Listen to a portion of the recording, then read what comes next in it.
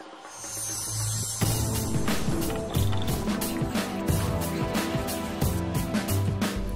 Welcome to WatchGuard's Daily Security Byte. I'm Corey Nachreiner. Today's story is Xcode Ghost. You might have heard of Xcode. This is the uh, Apple OS X and iOS developer toolkit uh, to create applications for iOS and OS X. If you're a developer, you've probably downloaded this from Apple.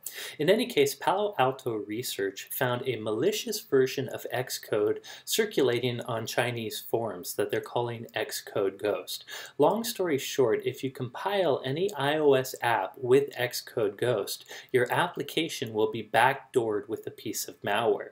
This piece of malware is capable of learning all your device information and sending it in a command and control channel, and then allowing the attacker to use the framework to do things like find out your iCloud password, steal passwords from other applications, access your clipboard, and all kinds of very dangerous things. In fact, Apple, Palo Alto, and other researchers have found 39 to 300 malicious malicious applications on the official Apple Store. Applications like WeChat, which is a very, very popular chat client in the Asia Pacific region. Now, the good news, at least for folks in the Americas, is most of these malicious applications seem to be popular Chinese and Asian applications.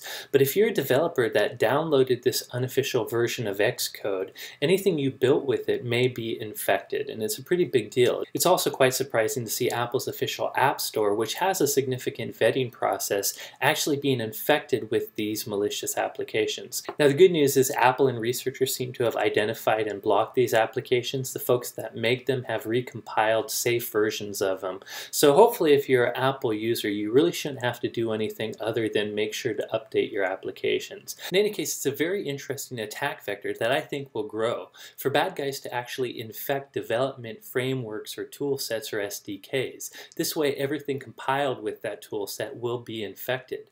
The takeaway here for developers is only to download these toolkits from their official sources and use checksums like SHA-1 or SHA-2 checksums to validate that what you've downloaded is very authentic. That's it for today's story. Thank you for watching.